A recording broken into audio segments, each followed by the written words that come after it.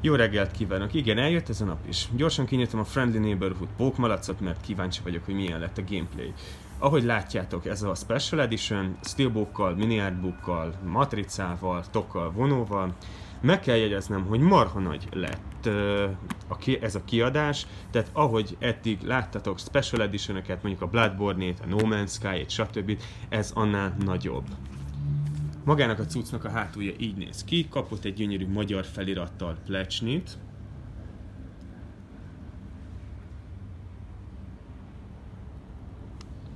Kettes régiós, mint ahogy látjátok, 45 gigát tölt le, vagy rak fel, nem tudom. Insomniac, STB, STB, így néz ki a gerince, végre nincsen rossz helyre nyomtatva a PS4 logó, mint mondjuk a Bloodborne esetében. És nyissuk is ki.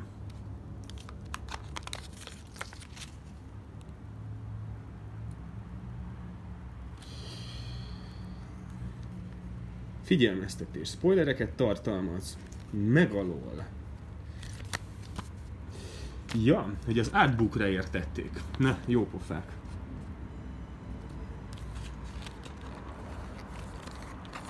Szokásos fényes ö, felületű.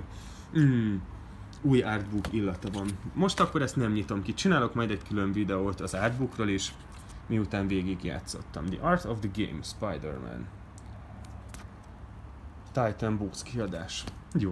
Ó, oh, és itt van maga a Steelbook.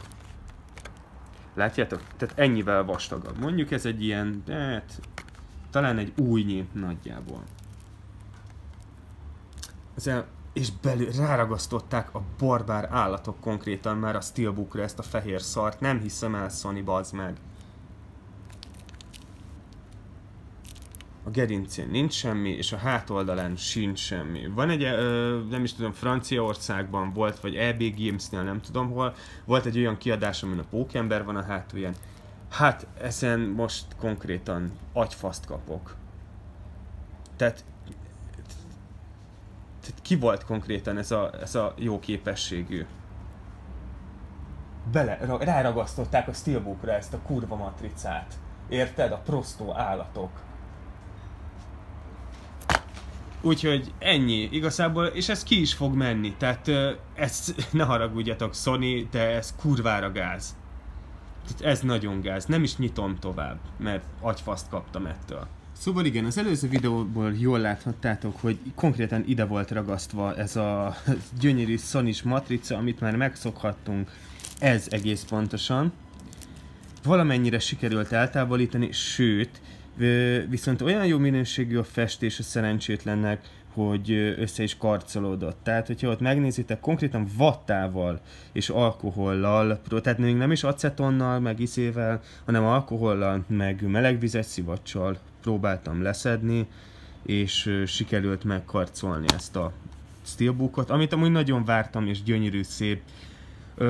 25 ezer forintért Sony igazából konkrétan oda kellene figyelni, mert lehet, hogy ez volt az utolsó viszont, amit így vásárolok meg tőletek.